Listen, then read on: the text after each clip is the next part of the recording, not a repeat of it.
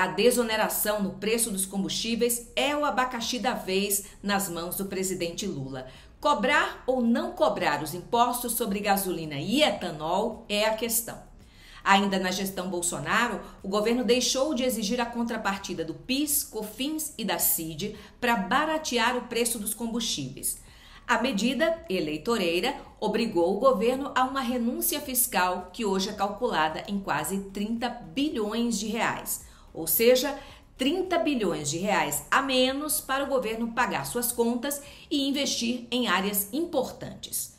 A questão da desoneração virou uma queda de braço entre a equipe econômica e a equipe política do governo Lula. A primeira, preocupada com as contas, e a segunda, preocupada com a popularidade do presidente, porque, obviamente, aumento de preços pega muito mal, principalmente no começo de uma gestão.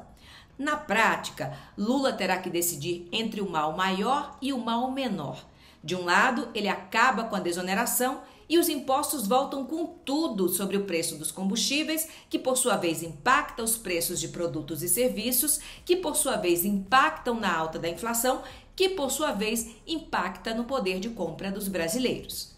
Segundo cálculos, o impacto na inflação seria de 0,6 ponto percentual.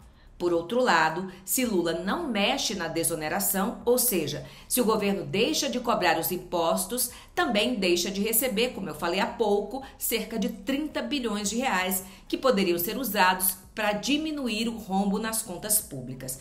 Não é uma escolha fácil. Tudo indica que o governo escolherá uma solução salomônica, ou seja, um meio termo. Esse meio termo pode ser o fim gradual da desoneração para que o impacto seja menos perceptível no bolso do consumidor.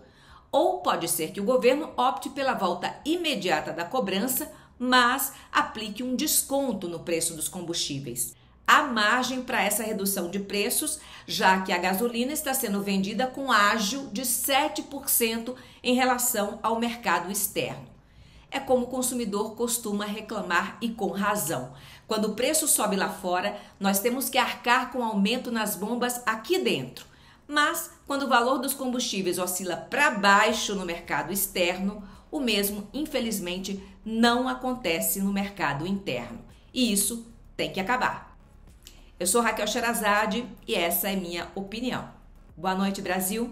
Tchau.